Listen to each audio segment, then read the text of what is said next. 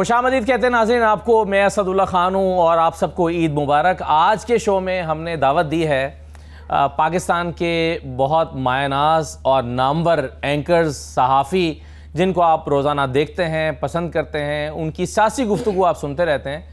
लेकिन निजी ज़िंदगी में वो कैसे हैं आ, उन्हें सियासत से हट के क्या उनके मशागल हैं किन चीज़ों का शौक़ है वो क्या करते हैं उनके दिन कैसे गुजरते हैं तो इन तमाम चीज़ों पर आज हम गुफ्तु करेंगे। मेरे साथ आज के इस ईद शो में जो मेहमान मौजूद हैं, उनका तारफ़ मैं कराता हूँ। हमारे साथ अतर काजमी साहब तशरीफ़ रखते हैं। काजमी साहब, बहुत शुक्रिया आपका। आप रोज़ाना इन्हें देखते हैं, इनके सियासी तजिए सुनते भी हैं, महजूज भी होते हैं। इन्हें फॉलो करते हैं। आसमा चौधरी साहब हमारे साथ मौजूद हैं। आसमा साहब बहुत शुक्रिया आपको भी। बहुत सारे एक तवील करियर है इनका बतौर एंकर इन्होंने काम किया और उससे पहले ये क्या किया करती थी ज़रा आज इनसे ये भी जानेंगे। और शौकत प्राचा साहब हम सबके सीनियर हैं। मेरा ख्याल है आप सब जितने सब लोग यहाँ पर बैठे हैं हम सबके सीनियर हैं।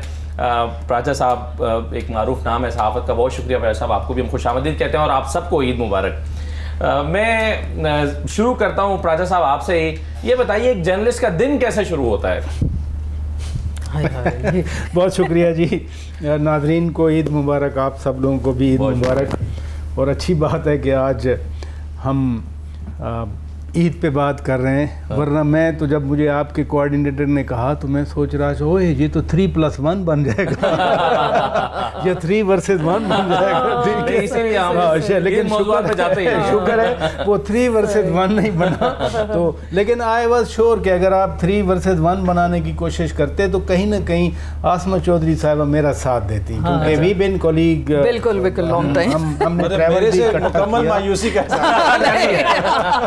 नहीं वो वैसे सैयद बादशाह है उनसे उनसे साथ देने की तवक्को नहीं शफकत की तवक्को रखनी हाँ, ये भी अच्छा कवर कर लिया अच्छा आप तो वैसे ही फेलो को एंकर है जर्नलिस्ट ना आपने एंकर नहीं कहा आपने जर्नलिस्ट कहा। अगर आप एंकर कहते तो शायद मेरा जवाब और होता। चूँकि मैं जर्नलिस्ट हूँ हम्म। मैं। तो एज जर्नलिस्ट आया प्रोफेशन में न्यूज़पेपर में फिर मैं टीवी में आया और वैसे जर्नलिस्ट एंकर्स को जर्नलिस्ट भी नहीं मानते बहुत सारे जर्नलिस्ट ये भी एक मसला है। चलें वो उस कंट्रोवर्सी में नहीं पड़ते। आज ईद का दिन है जरा खुश होकर बातें करें। जर्नलिस्ट का पता नहीं दिन कब होता है रात कब होती है। हम्म। आपने कहा दिन कैसे शुरू होता है मुझे नहीं पता दिन क्योंकि मुझे मेरे एक कोऑर्डिनेटर ने उसको मैंने कहा तुम काम नहीं कर रहे हो? हाँ। तो उसने कहा बात ये है कि पता नहीं आप सोते कितने बजे हैं? कहते हैं जब मैं रात को सोने लगता हूँ तो आप ऑनलाइन होते हैं। तो कहते हैं मैं जब सुबह उठता हूँ तो आप फिर ऑनलाइन होते हैं। इसलिए मोस्टली तो सुबह फ़ोन आता है तो वो हम्म। आँख खुलती है। हम्म। और रात को जो है वो कब नींद आती है? क्योंकि एज अ जर्नलिस्ट अगेन आपका जो टिल वन ओ क्लॉक आपका बुलेटिन है वो देखना पड़ता है। हम्म। फिर उसके बाद अपना रिपीट लग जाता है तो दिल करता है ज़रा जो अपना शो भी देखते हैं आप। नहीं देखता नहीं मैं देखता हूँ कि कहाँ लैप्स हुआ है ना। हाँ, इसलिए देखते हैं। You have to review it you see तो इसलिए हमारे प्रोफेशन में हम आई एम हैप्पी रादर कि इसमें कोई दिन रात नहीं होता जब आपका काम है हम्म। मसलन इलेक्शन हुए आठ फरवरी को आई एम श्योर हम सब सारी रात जागते रहे बैठे तो लंबा चक्कर चल सिर्फ़ जागते नहीं रहे वो जो तीन घंटे का लैप्स आया ना तो क्या कुछ हो गया? क्या कुछ उसमें तो हम परेशान थे कि क्या हो रहा है। हाँ। बाकी तो अब परेशान हुए हम उसी वक्त परेशान हो रहे थे। तो लिहाजा जर्नलिज्म मैं हमेशा कहता हूँ कि एक पैशन है ये कोई प्रोफेशन नहीं है। पैशन है तो you can work and you can work on basis. Mm-hmm. Otherwise, you get exhausted. हम्म। बिल्कुल ऐसा आसमान साहब सुबह सो के उठती हैं। तो पहली आवाज़ क्या लगाती हैं? चाय लाओ अखबार लाओ या मेरा हम्म। मोबाइल लाओ? नहीं नहीं पहले तो आपको मोबाइल देखना होता है। आप रात में भी मेरे ख्याल से अब पाकिस्तान के हालात ऐसे हो गए कि आपको हाँ। उठ उठ के देखना होता है और नोटिफिकेशन अगर कोई खबर आ रही है कोई ऐसी हाँ। अचानक कुछ ना कुछ आपको पता है कैसी कैसी डेवलपमेंट हो जाती है। और प्लस वो ट्विटर का एक ऐसा आपको चस्का हो गया है कि आप रात को मेरे ख्याल से दो बजे भी अगर सो रहे हैं तो तीन साढ़े तीन बजे फिर उठ के देख रहे हैं चार बजे फिर देख रहे हैं। सुबह के लिए जब आप उठ रहे हैं तो फिर बेटा है मेरा छोटा माशाल्लाह उसको स्कूल भेजना। हाँ। खुद उसको ड्रॉप करना तैयार करना। बस ये एक्स्ट्रा रिस्पॉन्सिबिलिटी भी है फिर स्कूल से पिक भी करना। तो ये अच्छा। सारा मतलब पूरा एक दिन भर का अपना काम भी फिर ऑफ़िस का भी फिर प्रोग्राम का। तो बहुत सारी चीज़ें मल्टीपल चीज़ें चलती रहती हैं साथ साथ लेकिन जर्नलिज्म की जो भी हम बात कर रहे हैं ना कि हम उठते कैसे हैं दिन का हम्म। आगाज़ तो मेरे ख्याल से शायद सोते हम बहुत कम है प्राचा साहब वाली बात से मैं अग्री करूँगी। मेरी टीम मेंबर्स भी वो कहते हैं कि हम भी जब देख रहे हैं आप ऑनलाइन है पाँच बजे भी कोई खबर भेजेंगे तो आप ब्लू टिक आ जाएगा कि फ़ौरन आपने उसको देख लिया तो खैर हम लोग मेरे ख्याल से सोते बहुत कम हैं और हर वक्त न्यूज़ के इर्द गिर्द ही घूमते रहते हैं तो शायद एक हेल्दी एक्टिविटी भी एक तरह से लेकिन एक तरह से हम अपना नुकसान भी कर रहे हैं कि हम हाँ। हकीकत से बहुत दूर होते चले गए हैं फैमिली हाँ। लाइफ हम लोगों ने मेरे ख्याल से साइड पर कर दिए हैं और हर वक्त न्यूज़ एंड ख़बरें एंड। पाकिस्तान भी ऐसा मुल्क है आपको पता है हर वक्त हैपनिंग हम्म। कुछ ना कुछ चलता रहता है ऐसी चीज़ें हाँ ट्रू यहाँ कोई ब्रेक नहीं आती खबरों में तो वैसे ही ब्रेक नहीं आती। तो जैसे फराजा साहब कह रहे हैं अभी दो तीन घंटे इलेक्शन वाले दिन आप सो गए होंगे तो फिर क्या हुआ? पैंतालीस से सैंतालीस में शिफ्ट हो गए मामला तो वो फिर साहब ने कहा था इस तरह की नहीं करनी लेकिन चले लोग सुनेंगे भी तो सही वो देखना भी चाहते हैं इस तरह की चीज़ें लेकिन ईद का दिन है। एनीवेज आपको मुबारक ईद मुबारक सबको और ईद है मीठी मीठी तो छोटी होती है ये ज़रा दूसरी ईद है तिक्कों वाली और कुर्बानी वाली तो वो मसरूफियात भी सर कभी बकरा जबा किया आपने? खुद? नहीं बकरा कभी नहीं जबा किया टू बी ऑनेस्ट ऐसे प्राइस साहब आपने किया? कभी खुद बकरा जबा नहीं। अच्छा ये पूछ ले बकरा बने तो नहीं कभी। अच्छा मैंने किया वैसे। अच्छा। हाँ अच्छा। एक जमाने में जो है ना वो मैं कर लिया करता था हम समझते थे आप सिर्फ़ एंकर ये ये अगर आप पहले बता देते तो कल से मैं और प्राचा साहब कसाई ढूंढ रहे थे। वो तो मैं भी ढूंढ रहा हूँ। अब तो मैं भी ढूंढ रहा हूँ। अभी शाम की अपॉइंटमेंट्स मिल रही है मैं थोड़ा लेट हो गया सुबह की स्लॉट सारे फेल है। अच्छा तो ये बताएँ कि आप जैसे मैं अभी पूछ रहा था सवाल कर रहा था कि सुबह उठ के क्या करते हैं? तो मैं तो वैसे मेरी मेरी काजमी साहब तो यह है कि मैं अगर सात घंटे के लिए सोता हूँ ना तो फ़ोन दूर रख के सोता हूँ और फिर पूरा तसल्ली से रात में अगर आँख खुले तो कभी उठा के फ़ोन नहीं देखता। ये अच्छी आदत है या बुरी आदत है मुझे नहीं पता लेकिन आप क्या करते हैं? देखिए फ़ोन तो मैं भी साइड पे मेरा तो फ़ोन वैसे ही साइलेंट पे रहता है मैं दिन को भी जो है ना अगर कोई टेलीफोन पे बात होनी हो तो पूरे दिन मैं शायद एक आधे बंदे से किसी से मेरी टेलीफोन पे या दो बंदों से बात हो रही हो हाँ। तो मैं टेलीफोन ना किसी को करता हूँ तंग करता हूँ ना ज़्यादा बात करता हूँ। इसलिए क्या व्हाट्सएप की वजह से जिस तरह अभी दोनों कोलीग्स बता रहे थे कि सारी इन्फॉर्मेशन आपकी बातचीत उसके ज़रिए होती रहती है तो कोशिश यही होती है कि रात को तो फ़ूड फ़ोन साइड पर ही रख दें लेकिन अगर किसी वक्त आँख खुल जाए तो फिर वो दे उठा के बंदा देख लेता है चेक कर लेता है तो वो इसी तरह जिस तरह इन्होंने बताया कि न्यूज़ वगैरह आ रही होती हैं तो बंदे को नज़र रखनी पड़ती है तो वो तो और ईद का दिन बड़ी ईद का दिन कैसे गुजरता है? देखिए मैं जो है ना इमोशनली बड़ा डिटैच्ड किस्म का आदमी हूँ। ठीक है मैं तन्हाई में इतना खुश रहता हूँ कि वो कुछ लोग कहते हैं जी बहुत लोग इकट्ठे हो गए तो बड़ा मज़ा आ गया। अच्छा। मुझे जितना मैं अकेला रहता हूँ मुझे उतना ज़्यादा मैं इंजॉय करता हूँ। ईद भी। और मैं अपने आप को ऐसा कट ऑफ़ करता हूँ कि मैं अगर इस प्रोग्राम में भी बैठा हूँ ना अगर मैं चाहूँ ना तो मैं बिल्कुल कट ऑफ़ हो जाऊँ। मुझे पता ही नहीं होगा कि यहाँ पे क्या हो रहा है मैं अपनी उसमें चला जाऊँ। तो ये हमारे प्रोफेशन के लिए बड़ा ज़रूरी है। इसलिए कि जिस नहज पे चीज़ें हाँ। इस वक्त पहुँच गई हैं तो अगर आप ये सब कुछ करते रहें तो आप तो जहनी तौर पे फ्रेश नहीं रह सकते। तो इस वजह से ये है कि ईद वाले दिन कोशिश होती है कि फैमिली के साथ टाइम गुजारा जाए। लेकिन मेरी सारी अब जवानी पूरी जो है पच्चीस साल से तो मैं बरतानिया में हूँ। तो ईदें फिर वहाँ पे वो एक बहुत कम मौका नहीं है उस तरह तो से मौका मिलता था कि आप पाकिस्तान में आए और कभी आए कभी नहीं आए। तो वो भी एक कमी महसूस होती थी हमेशा ईद के मौके पे। तो जहाँ पे लोगों को ईद का मौका अक्सर खुशी का मौका होता था वहाँ पे हमारे लिए वो बड़ा इमोशनल तो वो एक साइकोलॉजिकल इफ़ेक्ट हो गया कि यार ईद आ रही है तो हम अपने माँ बाप के पास नहीं होंगे बहन भाइयों के पास नहीं होंगे इस दफ़ा नहीं होंगे अगली दफ़ा होंगे। तो वो उसकी वजह से जो है ना अक्सर जो है ईदें ईदों के ऊपर वो बंदे को उसमें एक्साइटमेंट होती क्या वैसे? बड़ी ईद पे क्या एक्साइटमेंट होती है सबसे ज़्यादा? लोगों को तो खाने पीने की होती है कि जी टिके शिके बनाएँ खाएँ पिए ये और फैमिली के साथ टाइम गुजारें। हाँ। तो वो हमारा भी वही होता है कि जनाब फैमिली के साथ टाइम हो जाएगा कुछ खा पी लेंगे। अच्छा काजम साहब ये बताएँ कि आपने टीवी पर आने से पहले जर्नलिज्म का कोई और भी हिस्सा आपने किया हुआ मतलब ऑफ़ कैमरा भी काम किया हुआ है? जी जी मैंने जर्नलिज्म में मैंने जर्नलिज्म में बीए किया था उन्नीस सौ निन्यानवे में नाइनटीन अच्छा। नाइन्टी नाइन में। मैंने जर्नलिज्म में इतने पुराने वैसे लगते नहीं है। जी। तो मैंने रेडियो किया मैं रेडियो बीबीसी रेडियो पे काम करता था एज ए प्रोड्यूसर लंदन में लंदन अच्छा। से ही। उसके अलावा उनकी वर्ल्ड सर्विस थी उसके साथ काम करता था रेडियो के ऊपर। उसके अलावा वेबसाइट के ऊपर स्टोरीज लिखता था मेरी बहुत सारी बाई लाइन्स हैं। तो मैंने प्रिंट तो नहीं किया सच के न्यूज़पेपर वाला लेकिन वेबसाइट वाला प्रिंट किया हुआ है रेडियो भी किया हुआ है और टीवी भी किया हुआ है। तो ऑफ़ स्क्रीन काम करना और ऑन स्क्रीन काम करना क्या फ़र्क है? कोई, मुझे कोई ट्रांजिशन में कोई ज़्यादा वो नहीं लगा टू बी ऑनेस्ट के कोई बहुत बड़ी चेंज होगी, कि आपको कोई ज़्यादा मेहनत करनी पड़ेगी। इसलिए कि आप उसी बेसिकली जर्नलिज्म से रिलेटेड चीज़ें ही है ना। तो मुझे कोई बहुत ज़्यादा उसमें चेंज तो नहीं लगी, लेकिन ये ज़रूर फील होता है कि इसमें आपकी आवाज़ ज़्यादा वो इकतवाना हो जाती है। थोड़ा सा जब आपको लोग देखना भी शुरू हो जाए स्टोरी लोग पढ़ते हैं अखबार भी रोज़ पढ़ते हैं लेकिन टीवी पे अगर कोई किसी को देखें इसी तरह सोशल मीडिया मैं सिर्फ़ टीवी की बात नहीं कर रहा जो आपके इन्फ्लुएंसर्स हैं तो उनकी आवाज़ थोड़ी सी ज़्यादा हो जाती है। अदरवाइज़ मुझे ये लगता है कि सारे मीडियम्स बड़े इंपॉर्टेंट हैं और हर किसी का अपना अपना किरदार है। तो मुझे ये नहीं लगता कि ये मीडियम जो है कोई ज़्यादा बेहतर है या हम्म। ये जो है वो जिसमें क्लासिकल सिंगर है और ये पॉप सिंगर है। इसको नहीं हम सिंगर मानते और उसको सिंगर हाँ। मानते हैं। तो वो उस तरह का हिसाब नहीं है बाकी। तो सही है। आसमा साहब ये बताएँ कि आप भी तो प्रोड्यूसर रही हैं पहले। बिल्कुल बिल्कुल। तो आप ऑफ़ वेयर काम करना और ऑन एयर काम करना क्या फ़र्क है? मेरे ख्याल से ज़्यादा इंटरेस्टिंग काम रहा प्रोडक्शन का। अच्छा। मैं मैं अभी भी अक्सर मैं बात ये करती हूँ। एज एन एंकर अगर मुझे कहें कि तो मैं अपने आप को उतने ज़्यादा मार्क्स नहीं दूँगी तो एज अ प्रोड्यूसर मैंने जो काम किया मैं 99 परसेंट दे सकती हूँ क्योंकि अच्छा। वो मेरा एक पैशन था। डॉक्यूमेंट्रीज बनाई फ़ील्ड में काम किया स्टूडियो तो आपकी टीम के लिए तो बड़ा चैलेंजिंग काम होगा क्योंकि पता होगा एंकर को तो सब पता है। बिल्कुल अभी, अभी भी वो मुझसे अगर कोई बात पूछ रहे थे तो मैं सेट पे बैठ के बता रही होती हूँ कि फलां चीज़ कैमरा एंगल ठीक करो ये कैमरा इधर रखो। पर मैं खुद बता रही होती हूँ। तो ड्यूरिंग प्रोग्राम भी आपको पता है स्क्रीन सामने लगी होती है अपना फ्रेम वगैरह खुद भी सेट करना। तो प्रोडक्शन एक बहुत डिफरेंट टोटली डिफरेंट एक फ़ील्ड है। और उसमें मैंने काम किया पाकिस्तान से बाहर भी किया रिपोर्टिंग भी की। किन किन एंकर्स के साथ थे प्राचा साहब भी जाते थे हामिद मीर साहब के साथ मेरा शो था कैपिटल टॉक मैं उसकी प्रोड्यूसर थी। उस वक्त तो बड़े यंग हम लोग जब अपने करियर का स्टार्ट किया और मैं पहली प्रोड्यूसर कह लें फीमेल प्रोड्यूसर मेरे से पहले एक और थी आयशा होती थी। हम्म। तो उस उस ज़माने में संभाला। अभी बिल्कुल पढ़ के हम लोग निकले डांट पड़ती थी हामिद से? पढ़ती थी अक्सर। ऐसा होता था। लेकिन सीखा उनसे बहुत सीखा हाँ। अभी और जर्नलिज्म मी साहब से बहुत ज़्यादा सीखी।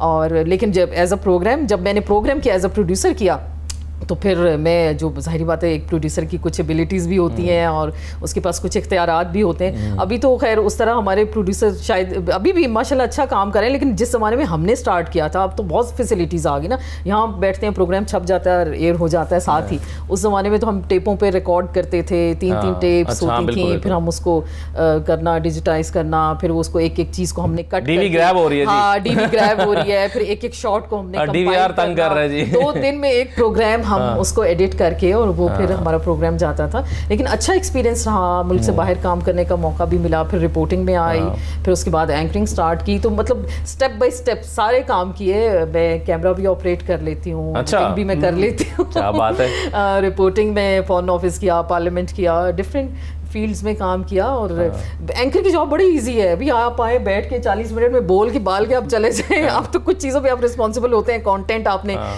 क्या देना है किस तरह से बात करनी है किसके खिलाफ तो आपको एहसास होता होगा कि आपकी टीम भाई कितना काम करती हाँ, है बिल्कुल बहुत काम करते हैं मुझे अब बिल्कुल एहसास होता है कि हम तो यहाँ से उठ के चले गए तो हम्म। वो हमारा तो इतना काम है ना बोल दिया अब उन्होंने शो को बनाना है आपने एक एक चीज़ लगानी है फिर आप वेब पे डालना है यूट्यूब पे करना है और दस चीज़ें आपको पता है सोशल मीडियाज़ हम्म। के लिए क्लिप्स निकालने और बड़ा बड़ा काम है बड़ा काम है जो प्रोडक्शन के लोग हैं तो उस ज़माने का काम एक बड़ा डिफरेंट था और इस ज़माने का काम भी चले जो सोशल मीडिया जब से आया एक्स्ट्रा रिस्पॉन्सिबिलिटीज़ आ गई हैं हम्म। वो भी तो मेरे ख्याल से मुझे एज अ प्रोड्यूसर मज़ा आया और मेरा शौक है कि मैं डॉक्यूमेंट्रीज़ मैंने बनाई बड़ी अच्छी बनाई तो एक मेरी डॉक्यूमेंट्री थी अफ़गानिस्तान में जो खातन जर्नलिस्ट थी उन पर मैंने बनाई थी तो। अमेरिका के लिए सेलेक्ट हुई थी अच्छा। तो आईवीएल प्रोग्राम में मैं तब गई और वहाँ पर उन्होंने डिस्प्ले भी की थी काफ़ी जगह पर तो हम्म। बड़ा अच्छा लगा था कि आपका काम है हर जगह दिखाया चलें ये मैं आपसे बाद में फिर पूछता हूँ कि ये फिर फैसला अगर आपको इतना मज़ा आ रहा था फिर आपने एंकर बनने का हाँ। फैसला क्यों किया? लेकिन प्राय साहब ये बताएँ कि एक ऐसा एंकर जो रिपोर्टर रहा हो और एक एक ऐसा एंकर जो रिपोर्टर ना रहा हो दोनों में क्या फ़र्क होता है? मैं एंकर भी हूँ पाँच दिन शो करता हूँ। हाँ। साथ में रिपोर्टर भी हूँ। मैं अभी भी फॉरेन ऑफ़िस जी। मेरी बीट है एज अ स्पेशल कॉरेस्पॉन्डेंट में वो भी करता हूँ। तो एडवांटेज है।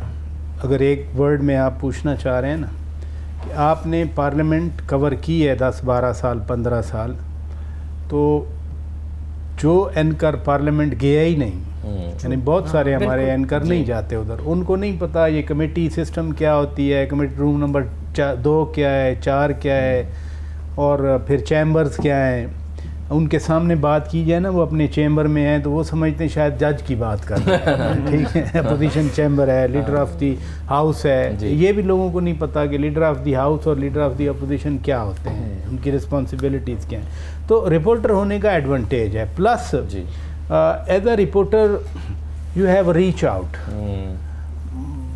anchor का डिसएडवांटेज है कि उसका डायरेक्ट पॉलिटिशियन के साथ वो रीच आउट नहीं है। हम्म। देखिए ना पाकिस्तान के कॉन्टेक्स में मोर और लेस हमारे सारे जितने भी टॉक शोज़ हैं they are of political nature political orientation है। जी। तो जो एंकर रिपोर्टर नहीं रहे या जो जाते भी नहीं हैं असम्बली में उनकी डायरेक्ट एक्सेस नहीं होती। वो they are at the mercy of their coordinators के कोऑर्डिनेटर ने कहा जी मैं फलां को ला रहा हूँ उसने कहा ठीक है। हम्म। सब कुछ जो असेंबली के अंदर हो रहा है वो स्क्रीन पे नज़र नहीं आता। बहुत सारी चीज़ें हैं बहुत सारी चीज़ें हैं। एक खैर पाकिस्तान में एक ऐसी हवा बनाई गई है कि पॉलिटिशन को कुछ नहीं पता दे आर रिस्पॉन्सिबल पीपल लेकिन आप समटाइम्स डिबेट हो रही हो आप बैठ के सुने यू लर्न अराउट मसलन एज चौधरी एतजाज़ एहसन साहब ने एक दिन साढ़े तीन घंटे की तकरीर की। कैन यू इमेजिन साढ़े तीन घंटे। अच्छा। और बड़ी मुदल एंड निटेड वो पता नहीं आप बैकग्राउंड बताना मुनासिब है या नहीं। इसहाक खान के साथ टॉक्स हो रही थी। आ, मुझे अजीब सा लग रहा है कि जो मैं जानता हूँ वो खाम खा मैं बयान कर रहा हूँ। हम्म। फारूक लगारी और आफ्ताब अहमद ख़ान शेरपाव साहब और दीगर बीबी ने भेजे बात करने के लिए। और एक इशू था उस पर अब मैं नहीं जाता। तो वो उधर वो टॉक हो रही थी। इधर से ये कुछ ऐसी बात नहीं करना चाह रही थी पीपल्स पार्टी अपोजिशन में थे ना उस वक्त। हम्म। तो बीबी शहीद ने पर्ची भेजी एतजाज के लिए कि कीप टॉकिंग कीप टॉकिंग थोड़ी देर के बाद पर्ची आ जाती। साढ़े तीन घंटे जो है ना। टिल द टाइम के वो टॉक्स कामयाब हुई। अच्छा। तो चर्च साहब ने वो अब साढ़े तीन घंटे एक चीज़ को ग्रैब करना और हाँ। बिल्कुल अब मैंने जैसे कहा मुदल निटेड कि आपका एक पैराग्राफ दूसरे से कनेक्टेड है। जी। तो बंदा सीखता है। एक बार मौलाना फजल रहमान साहब ने तकरीर की ये 2002 की शायद असम्बली थी। एतजाज़ एहसन ने तकरीर की तो उसके जवाब में मौलाना साहब ने तकरीर की बेबस कर दिया Chaudhry Aitzaz Ahsan you know seeing is believing जो आप देखते हैं उस जैसी कोई लर्निंग नहीं है। हाँ।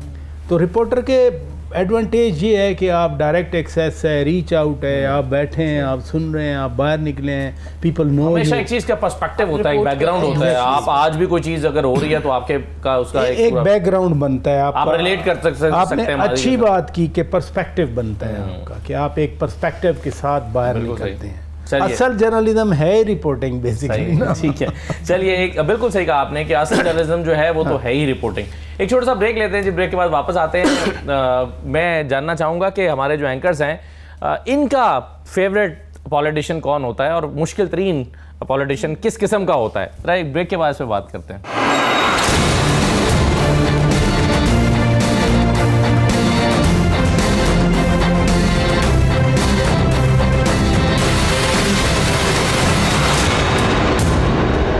दोबारा आपको खुश आमदीद कहते हैं ईद के शो में और एक बार फिर आपको ईद मुबारक। नातर काजमी साहब आपका फेवरेट पॉलिटिशियन कौन सा है जिसको आपको दिल करता है बार बार इंटरव्यू करने का? ये पूछने की बात है। अच्छा मैंने मैंने आज तक जुमला है या हमला है? वो, तो वो मसला ये है कि अगर मैंने तो अगर इन्होंने खान साहब की तरफ़ इशारा किया मैंने आज तक खान साहब को इंटरव्यू ही नहीं किया। हाँ। मैंने आज तक रिक्वेस्ट ही नहीं भेजी कि मैंने उनको इंटरव्यू अच्छा कादमी साहब आपको कैसे पता चला मेरा इशारा होता है? मैं और इसलिए कि मैं और आप रोज मुख्तलिफ़ प्रोग्रामों में इकट्ठे होते हैं। मुझे पता है इतना तो आपको जानते हैं हम आपको जानते हैं रोज हम इकट्ठे होते हैं। और देखिए ये एक एंकर की क्वालिटी भी है कि आप इतने क्विक हैं कि आप समझ जाते हैं हर चीज़ को हाँ। इशारतन या तो महावरतन। मैंने तो टू बी ऑनेस्ट क्यों नहीं आपने कभी उनका इंटरव्यू करना चाहा? नहीं ये नहीं कभी ऐसा कोई मौका नहीं आया। दूसरा ये होता है कि आपको खबर लेनी करनी होती है आपको चीज़ें लेनी होती हैं। जब आप हुकूमत चेंज हुई उसके बाद दड़ा दड़ उनके इंटरव्यूज़ हो रहे थे तो मुख्तलिफ़ चीज़ें सामने आ रही थी। तो उस वक्त जो है टू बी ऑनेस्ट अगर मैं भी रिक्वेस्ट डाल देता कि भाई मैं भी पर उसमें आपने क्वालिटी क्या लेके आनी है या क्या चीज़ लेके आएँगे? देखिए आपने किसी से इंटरव्यू करना है गपशप तो नहीं लगानी कोई चीज़ है नहीं उसमें कोई चीज़ हो जो चीज़ सामने आए पता चले। तो वो कोशिश होती है कि जो भी पॉलिटिशियन उस वक्त रेलिवेंट है या कोई भी शख्स हो जिससे बात करके बंदे को इंटरव्यू में कुछ सीखने का मौका मिलेगा आवाम तक कोई इंफॉर्मेशन आएगी तो उससे वो बात की जाए। हम्म। बाकी जहाँ तक देखें कोई भी जो सहाफ़ी है वो कभी भी ए पॉलिटिकल नहीं हो सकता। उसकी अपनी लाइकिंग होती है डिसलाइकिंग हम्म। होती है। वो किसी को पसंद करता है किसी को नापसंद करता है पूरी दुनिया में। आप बरतानिया जैसा एक जो बड़ा महजब और बड़ा टाइट लिप्ट सोसाइटी है हम्म। वहाँ पे भी इलेक्शन से पहले अखबार पहले पेज पे लिख देते हैं कि इस जमात को हम सपोर्ट कर रहे हैं। क्योंकि इसकी ये ये ये पॉलिसी है। तो समझने की चीज़ ये है कि आप पॉलिटिशियन को पसंद नहीं करते। आप क्या उस पॉलिसी को पसंद करते हैं? हम्म। आप इंडिपेंडेंस ऑफ़ जुडिशरी की पॉलिसी चाहे वो मियाँ साहब बात करें वोट को इज़्ज़त दो चाहे वो बिलावल साहब ने दिलवानी हो हम्म। ठीक है? हम्म। और हकीकी आज़ादी चाहे वो खान साहब ने दिलवानी हो।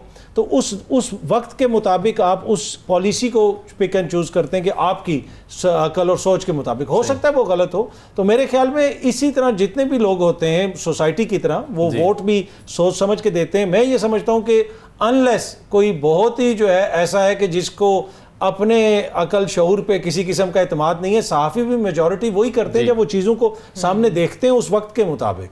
और इसी वजह से अक्सर लोग कहते हैं यार वो देखो इसने तो जंप ले ली। नहीं उस वक्त चीज़ें डिफरेंट थी इस वक्त चीज़ें डिफरेंट थी। वो चीज़ों को जिस नज़र से देख रहा है आपको उस नज़र से देखना पड़ेगा। तो मैं समझता हूँ कि पॉलिसीज़ मेरी फेवरेट होती हैं। वो वक्त के साथ साथ अब वो किसके पास है वो पॉलिसी फिर ये डिपेंड करता है। चलें आपको मैं बदला लेने का मौका दे रहा हूँ। भाई साहब आप किसके इंटरव्यू करना चाहते हैं बार बार प्राचा साहब प्राचा साहब प्राचा साहब फॉरन बीट कवर करते हैं। मोदी साहब को हम अगर इंटरव्यू करें ना तो फिर जो है उनसे हम बहुत सारे क्वेश्चन करना चाहते हैं जो हम प्राचा साहब को बताएँगे। कादमी साहब जो बात कर रहे हैं हाँ। एक पर्सपेक्टिव होता है ना। जी।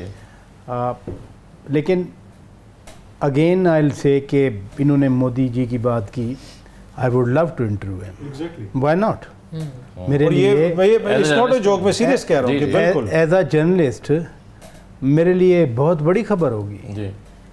And even if I have to travel to Delhi for this I will मुझे यकीन है वो टाइम नहीं देंगे ठीक है। अब इमेजिन करें ना कि जो हमारे जहनों में क्वेश्चंस हैं क्या वो हम उनसे पूछ सकते हैं जो अगर मौका मिल जाए तो फिर लेकिन मौका मिले तो मैं ज़रूर पूछूँगा। सही। इसलिए इसलिए कि मेरा काम एज अ जर्नलिस्ट तो यही है ना कि मैं मीडियम भी तो हूँ मेरा पर्सपेक्टिव है बट मैं एक मीडियम भी हूँ। ये बड़ी थिन लाइन है।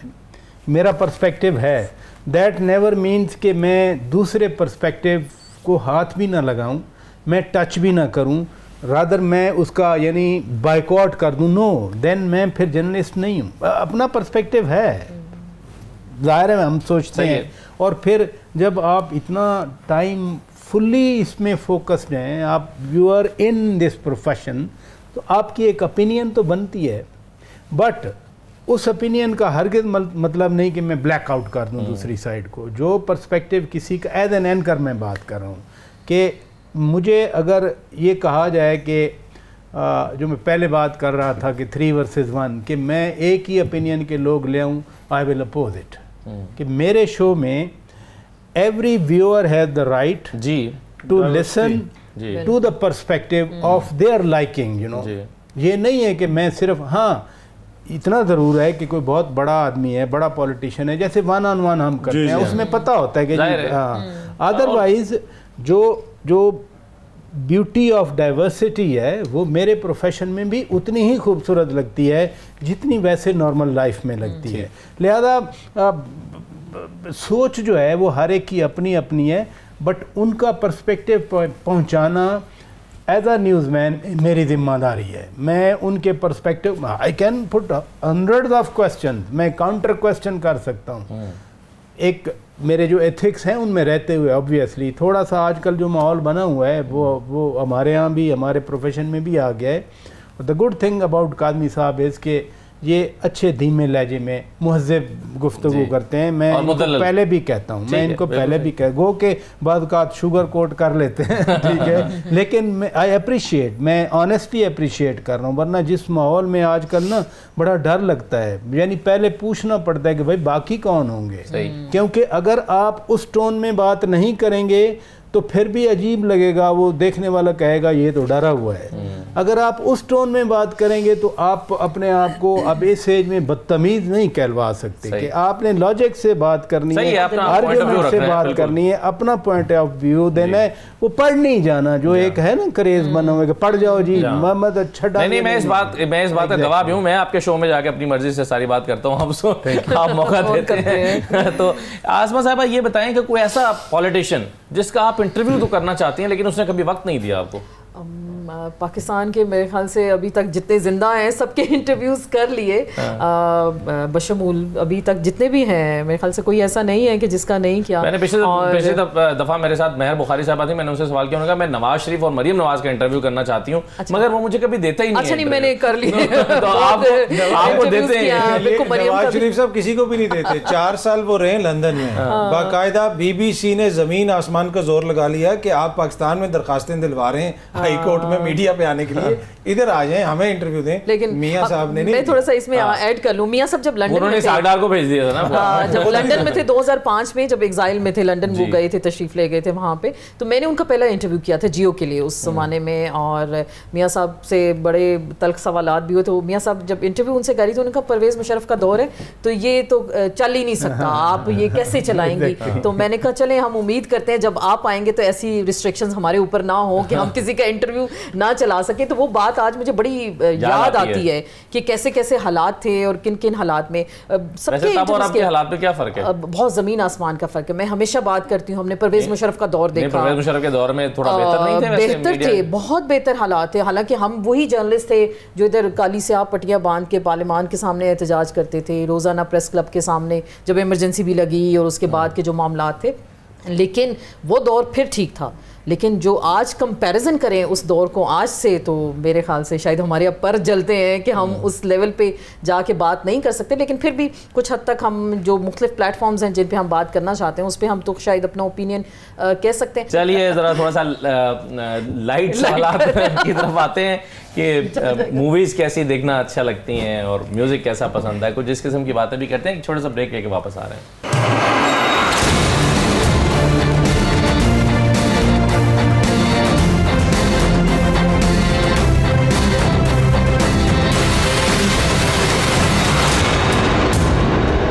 दोबारा आपको खुश आमदीद कहते हैं अतक आजमी साहब, म्यूज़िक किस किस्म का सुनते हैं आप? जो सा भी चल रहा है चल रहा हो टू बी ऑनेस्ट चाहत फतेह अली खान। चाहत फतेह अली खान मेरे oh बड़े फेवरेट हैं। अच्छा। अस्सलाम वालेकुम। उनका तो सलाम में इतना सुर है। बाकी तो दीगर सुरों की तो आप बात ही ना करें। Oh तो चाहे उनका भी चलो टू बी ऑनेस्ट कोई एज सच कोई ये नहीं है कि कोई खास जॉनरा हो कि ये सुनना है वो सुनना है। जो भी अच्छा म्यूज़िक हो वो सुन लेते हैं कहीं पे गुनगुनाते भी हैं। नहीं गुनगुनाता भी नहीं हो और स्पेशली म्यूज़िक लगाता भी नहीं हो। इवन के गाड़ी में भी बड़ा कम जो है ना। अच्छा। हाँ टू बी ऑनेस्ट उससे है कि टॉकिंग बुक या डॉक्यूमेंट्री कोई चल रही हो। यहाँ पे तो उस तरह रेडियो नहीं है बरतानिया वगैरह में बहुत सारे ऐसे रेडियोज़ हैं जहाँ पे बाकायदा डॉक्यूमेंट्रीज चल रही होती हैं। रेडियो फोर है बड़े ज़बरदस्त किस्म की बातें हो रही होती हैं बहुत कुछ सीखने को मिलता है। हाँ। तो मैं तो जब भी सफ़र करता था वही अपने लगाता था। हाँ। तो गानों का इतना ज़्यादा शौक नहीं है लेकिन ये नहीं है कि मुझे गाने खुदा ना खास कोई बुरे लगते। अच्छे नहीं लगते। हाँ। सुनता भी हूँ और वो सब कुछ है लेकिन कोई ख़ास नहीं है कि एक बड़ा मेरा फेवरेट सिंगर है। सोच के जवाब दीजिएगा सियासत का चाहत फतेह अली खान कौन है? देखिए हमारी जो सियासत है उसमें सारे ही ठीक है? इसलिए कि उधर बदोबदी हो रहा है। ठीक है। तो इशू ये है कि इसमें किसी एक को कहना वो मुश्किल है। पाकिस्तान की सियासत बड़ी जालिम है। इधर इन्होंने बड़े बड़े जो खानों को चाँद फतेह अली खान बना दिया। बड़े बड़े जो हम्म। तुरम खान थे ना सियासत के हाँ। वो अचानक जैसे बने तो वो चाँद फतेह अली खान को भी पीछे छोड़ गए। सारे उनके नज़रिए अभी तो उनके टिकटें इतनी महँगी बिकती हैं और उनका जो बदोबदी जो है वो मिलियंस में मैंने सुना है और वो और हमारे आईजी पंजाब ने उनको बुलाकर जो है वो अवार्ड वगैरह सुवीनियर भी दिया जी जी बिल्कुल। देखें ना उनका टैलेंट है आवाम पसंद करते वो ये है कि मेरे ख्याल में देखें सियासत में मुझे नहीं लगता कि कोई भी चाँद फतेह अली खान है। हमें बड़ा इजी है कि हम फ़ौरन सियासतदानों को डिमीन कर देते हैं। और बड़ा इजी टारगेट होता है। गुस्सा कहीं पे भी हो ना तो वो जनाब सियासतदानों पे निकल जाता है। मेरे ख्याल में बड़े लर्नड किस्म के लोग हैं, आपकी इंट्रैक्शन होती है। किसी भी आप प्रोफेशन में चले जाएँ, बहुत सारे लोग, मुख्तलिफ़ किस्म के लोग होंगे तो मुझे ये लगता है कि हमारे जो सियासतदान हैं, अगर वो आइन के मुताबिक उनको तमाम वो चीज़ें मैसर हों, जो उनका रोल है दीगर जुडिशरी का जो रोल है वो अपना रोल अदा करे मीडिया का जो रोल है वो अपना रोल अदा करे। तो मुझे ये लगता है कि पाकिस्तान के मसाइल का हल जो है वो आपको सियासत के ज़रिए ही निकालना पड़ेगा। उसके अलावा मसाइल कोई और हल नहीं है। नहीं। बिल्कुल सही है। प्राय साहब किस तरह की मूवीज़ आपको देखना पसंद है? मूवीज़ को बन रही हैं पाकिस्तान में। नहीं चले पाकिस्तान में नहीं बन रही पूरी दुनिया में तो बन ही रही है ना। नहीं मैं मैं मैं बड़ा कोरियन मूवीज़ में मसलन आजकल बहुत अच्छी आ रही है जापानीज अच्छा काम कर रहे हैं ईरानी नहीं मैं बड़ा फ़ैन हूँ मैं पुरानी फ़िल्में देखता हूँ। कोई ज़माना था या अभी आप डीवीज़ की बात कर रहे थे डीवीज़ करप्ट हो जाती हैं। हाँ। मैं वीसीआर के ज़माने की फ़िल्में हाँ। देखता हूँ जब लेट एटीज़ नाइन्टीज़ की जो फ़िल्में थी। और मैं सही बात करूँ तो मैं इंडियन फ़िल्में देखता हूँ। अभी भी मुझे मौका मिले और मौका कब मिलता है? अभी इंटरनेशनल फ़्लाइट में आप जाए ना। हाँ, सबसे ज़्यादा मौका तो वही मिलता है वो सिलसिला पड़ी होगी। सिलसिला देखने पड़ती है। सिलसिला होगी इजाज़त होगी हम्म। अमिताभ बच्चन की फ़िल्में होंगी। मैं कंगना रावत अभी एम एन ए बनी है इसकी तो नहीं देखता हिमा मालिनी की फ़िल्में देखता हूँ मैं। अच्छा। तो म्यूज़िक भी जो वो जो लता मंगेशकर किशोर के गाने हैं मैं अभी भी रात को सुनता हूँ। अच्छा। और गुनगुनाते भी हैं साथ साथ सर? अभी गाड़ी में वो कह रहे थे रेडियो सुनते हैं तो मेरा तो ट्रैवल होता ही नहीं है गानों के बगैर। हाँ। तो गाने लगे हुए हैं तो मैं ड्राइव कर रहा हूँ। मेरा वो थॉट प्रोसेस जो है वो सिंक्रोनाइज कर रहा होता है उससे। अच्छा। तो that gives you little relax time कि आप थोड़ा सा उस खींचा तानी से अपने आप को निकाल के एग्जाइटी से निकाल के आप गाने सुन लेते हैं। गुनगुनाने वाली नहीं अरे हम स्कूल कॉलेज में तकारीर किया करते थे हमारा थ्रोट उस ट्रेनिंग में आया ऐसा कि अब हम एंकर बन गए।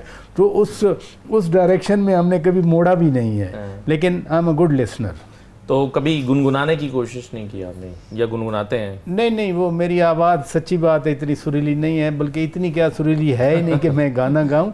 हाँ आप आप रेजोनेट तो करते हैं ना चीज़ों को। आपने एक अच्छा गाना सुना है at the back of your mind उसकी रिटेंशन तो है ना?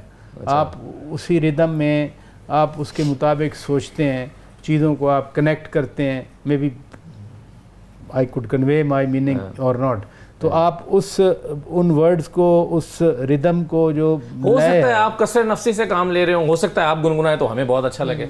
नहीं वो चाह रहे हैं कि आप गाना गा लें हो? सकता है कि वो हमारे सामने नहीं किसी और के सामने गुनगुनाते हैं। नहीं बात ये है ये भाभी ने भी प्रोग्राम देखा। नहीं नहीं बात ये है बता ले कुछ अंदर की बात बता देख मैं नहीं मैं गाना नहीं गाता मैं गुनगुनाता भी नहीं हूँ। मैं बता रहा हूँ कि वो आपके थॉट्स में रहता है ना। तो आप गाना सुना है ज़ाहिर है सुना इसलिए है कि आपको अच्छा लगा है। हाँ। अच्छा लगे तो कुछ ना कुछ आप रिटेन करेंगे। But that's in your thoughts not on your tongue Asma Chaudhry साहब आपको ज़्यादा पुरानी मूवीज़ पसंद है या कम पुरानी मूवीज़ uh, मेरे ख्याल से स्टूडेंट लाइफ में लाइफ में जो मैंने देखी होंगी उसके बाद बहुत कम टाइम मिलता है हम्म। अगर देख लूँ मैं अब पता नहीं स्टेमिना ऐसा हो गया या मेरा मैं अपने आप को भी शायद ये कहती हूँ आधे घंटे से ज़्यादा मैं मूवी नहीं देख सकती अगर मैं देखूँगी जैसे जहाज़ में आप बैठे हैं तो आगे करके आप उसको अच्छा। देख लेंगे गाना अच्छा आ गया वो सुन लिया तो शायद उस ज़माने में मुझे याद है कि वो एक एंटरटेनमेंट होती थी आपके पास हम्म। कि आपने थर्सडे में फ्राइडे हमें छुट्टी होती थी स्कूल हम्म। के ज़माने में मैं बात कर रही हूँ और फ्राइडे को हम मूवी देखते थे वीसीआर वो ला के और उसमें एक वो डीवी आप जो कैसेट होती थी वीएचएस है ना वीसीआर होता था पहले वीसीआर था फिर वीसीपी छोड़ने होती थी जब उसकी टेप खराब हो जाती टेप खराब हो उसको दस रुपए का नोट लगा के हेड उसका साफ़ हाँ, बिल्कुल एग्जैक्टली तो वो उस जमाने में इतने शौक से देखते थे और वो और टारगेट होता था कि एक रात में ये तीन मूवी आप यकीन करें दो तीन दफ़ा हम सारे बैठे थे कज़न तो वो वीसीआर गर्म हो गया हमें उसको बंद करना पड़ा इसलिए वो लिटरली उसका हेड वो गर्म हो जाता मेरा ख्याल है पर डे के हिसाब से उसका उसका किराया होता था। उसके बाद हम हॉस्टल के स्टूडेंट थे हम तो पैसे इकट्ठे कंट्रीब्यूट करके तो एक वीसीआर ला हाँ देखते थे। एग्जैक्टली वो तो उस जमाने में ये एक और एंटरटेनमेंट थी आपके पास स्टूडेंट्स तो जो है वो पैसे चंदा जमा करके मेरा ख्याल है तो ये किया करते थे। मतलब एक मूवी देखते थे। ये एक आपके एक वाहिद तफरी का ज़रिया था। तो आज तो इतना दौर फास्ट हो गया। अब तो नेटफ्लिक्स आ गया आप सीरीज़ देख लें प्राइम पे देख लें और वो वो बीटीएस वाले कुछ आ गए बच्चे आजकल वो सुनते हैं कोरियन। मैं तो मैं तो हैरान हूँ कि इनको ज़ुबान कैसे समझ आ जाती है। हमारे बच्चे वो कोरियन सुनते हाँ। हैं। तो वो गाने सुनते हैं और वो बीटीएस सुनते हैं गाड़ी में बैठते ही वो वो की तो खैर कोई हैं। language नहीं होती, अब तो बिल्कुल तो- मौसीकी रूह की ग़िज़ा है बिल्कुल आप इसको तो कहते हैं। कोरियन सीरीज़ वैसे इतनी अच्छी आई है इंग्लिश डबिंग में या बिल्कुल, में आपको मिलती है हैं, लेकिन बिल्कुल कोरियन सीरीज़ तो चंद एक तो बहुत अच्छी बिल्कुल और टर्किश ड्रामे आप अपने टीवी पे देख लें वो चलते हैं वो अच्छे हैं राजा साहब आप अपनी शादी की मूवी आपने आखिरी मर्तबा कब देखी? क्यों वो कैसे मुझे मूवी से याद आया ये। किसी ने क्या कहा था कि क्या बात करते हो? अरे नहीं। भाभी ने भी कभी कहा कि आओ चलो आज। मूवी देखते मुझे ये बताएँ ओ भाई इधर ये रोज़ाना इतनी मूवीज़ होती लेकिन हैं वो शादी की वो तो तो नहीं हर वाली में- है। हर सेकंड में plus you know when you are having a family you have kids तो हर वक्त मूवी चल रही है। आपके किड्स आपकी मूवी नई मूवीज़ अफसाने तकलीफ़ हो रही सुबह सुबह आप जो है उनसे मिलते हैं अच्छा लगता है। दोपहर को आप मिलते हैं अच्छा लगता है। शाम में जब हम आते हैं शुरू में जब बच्चे छोटे थे हमारा भी आगाज़ था प्रोफेशन का तो हम तो अखबार में थे बहुत लेट जाते थे। हाँ। बच्चे सोए होते थे। हाँ। सुबह हम सोए होते थे तो बच्चे स्कूल चले जाते थे। हम तो उस एज से इधर अब पहुँचे हैं कि अभी आपने एज एंकर बताया। मैं आपको बार बार रिपोर्टिंग का इसलिए रेफरेंस कर रहा हूँ। तो ये सारी फ़िल्में ही हैं ना? फ़िल्में हम देखते आज भी ऐसे प्राइसा कभी होता है कि भाभी का फ़ोन आया है कि आते हुए फलां चीज़ ले आना या ये मुलाजमों की मुकम्मल तौर पर ज़िम्मेदारी हो गई है या अभी भी ये आपको ये ज़िम्मेदारी निभानी पड़ती है? मैं ए, एक बहुत बड़े आदमी के सामने बैठा हुआ था। ठीक है? मुझे फ़ोन आया कि आज नान खाने का मूड है नान तो मुझे इतना गुस्सा आया। और फ़ौरन आवाज़ कम की होगी फ़ोन की बंद कर दिया। यार आप कह रहे हैं कि आवाज़ कम की। नान खाने। नहीं मैं शॉपिंग दही लेते आना। नहीं चीज़ें हम खुद लेते हैं। ठीक है? ग्रॉसरी खुद करते हैं स्पेशली ना vegetable and fruits and meat. इसलिए कि भाई मैंने खुद खाना है ना वो। तो मैं अपने हिसाब से चीज़ नहीं लूँगा फिर तो पता नहीं वो कैसी चीज़ लेके आएगा। अभी तो अल्लाह माफ़ करे। तो ये बकरे में से भी आप अपनी मर्ज़ी का के हिस्से कराते अल्लाह हैं? अल्लाह माफ़ करे यानी रोज़ाना जब टीवी स्क्रीन पे ये टिकर आता है ना कि 400 मन मुर्दा मुर्गियाँ पकड़ी गई तो मैं बच्चों को कहता हूँ कि यही तुम कढ़ाइयाँ खाते हो तो इसलिए जो माहौल है उसमें you have to be very तो साहब कुर्बानी के दौरान कुछ अपनी मर्ज़ी के पीस अलहदा करा लेते हैं? यार ये जरा साइड पे कर दो। कराते हैं। एक, खामोशी। एक हमारे यहाँ ना तीन हिस्से बनते हैं। अभी थोड़ा सा मैं अजीब सा ये सुन रहा हूँ कि जी वो आप तीसरा हिस्सा जो आपके यानी जो ज़रा कम आमदनी वाले लोग हैं कि जी वो उनको छोड़ दें जी और आपने अगर अपने रिलेटिव को दे दिया तो वो मेरा ख्याल है जो हमारा ओल्ड एक तरीका कार था वो ज़्यादा अच्छा था, था कि बहुत सारे स्पेशली इस दौर में बहुत सारे ऐसे लोग हैं जो लिटरली गोश्त नहीं खा सकते। तो अल्लाह ताला ने एक दिन दिया है कोशिश तो ये करनी चाहिए कि आप हर हिस्से में से दें जो एक शरई तरीका है कि उसको मिक्स करें हर हिस्से में। हाँ अलबत्ता ये है कि जैसे कुर्बानी होती है तो कलेजी फ़ौरन जो है ना उसका ख्याल होता है कि इसको भाई चले इतनी बनाओ। जो है ना वो दे दी जाए आपसे मैं कुर्बानी और इसलिए इसके बारे में सवाल नहीं करूँगा क्योंकि आपने बड़ी अदम गैर दिलचस्पी का इजहार किया है ईद और कुर्बानी के मामला तो शुरू में तो हाँ बिल्कुल हम भी करते हैं कुर्बानी तो। तो इसलिए मैं ज़रा पहले वाला जो चल रहा था ना वो मेरे जहन में एक सवाल आया कि लंबी फ़्लाइट में आप क्या करते हैं जैसे मैं तो इतना मुझे पसंद है सोना मैं बाद अक्सर औकात टेक ऑफ़ के दौरान अभी जहाज़ टैक्सी कर रहा होता सो जाता हूँ। अच्छा मुझे नींद बड़ी मुश्किल से आती है तो मेरी कोशिश ये होती है कि पहले जो है कम सोऊं ताकि उसमें नींद आए पर फिर भी नहीं आती। तो लंबी फ़्लाइट में वही जैसा भी प्राचा साहब फरमा रहे थे कि कोई चीज़ डॉक्यूमेंट्री लगा ली थोड़ी देर उठ के बैठ गए थोड़े से फिर लिया तो बड़ा वो मुश्किल होती है लंबी फ़्लाइट सबसे लंबी फ़्लाइट जो मैंने ली थी गालबन में लंदन से इंडोनेशिया जब जा रहा था इंडोनेशिया जा रहा था तो उसमें वो बीच में ऑल दो के रुक के गए थे पर वो बड़ी लंबी जो है ना मुझे वो फ़्लाइट लगी थी। ऑल टुगेदर काफ़ी चौदह पंद्रह घंटे से ज़्यादा बल्कि इससे भी ज़्यादा कि वो बन गई थी। तो वो ये होता है कि बड़ा बंदा थक जाता है पर वही गुजारा करते हैं कि जो इंटरटेनमेंट सिस्टम में चीज़ें हों गाना कोई चीज़ इस तरह महसूस हों तो एक लंबा सा आपने परदेश में काटा आपने बताया। कुकिंग तो करते होंगे फिर आप? जी कुकिंग अलहमदुल्ला क्या अच्छा बनाते हैं? सब कुछ बना लेता हूँ अच्छा। कोई ऐसी चीज़ नहीं है जो घर में जो मतलब ये शेफ़ तो नहीं हूँ पर के घर में गोश्त हो या कीमा हो तो बहुत शौक से कौन सी चीज़ बनाते हैं? जो बेगम साहबा कहती अच्छा उनकी फरमाइश पे बनता है। उनकी जो कहती हैं उनके मेरे शौक किधर चलते हैं अच्छा। आप तो खुद शादीशुदा हैं तो ये इस तरह क्या हैरत का इजहार कर नहीं नहीं मेरे मसाइल थोड़े से नहीं टू बी ऑनेस्ट कुछ भी बना लेते हैं मुर्गी गोश्त जो भी हो इसलिए कि उधर आप ज़्यादा अच्छा बनाते हैं या भाभी ज़्यादा अच्छा बनाती हैं खाना?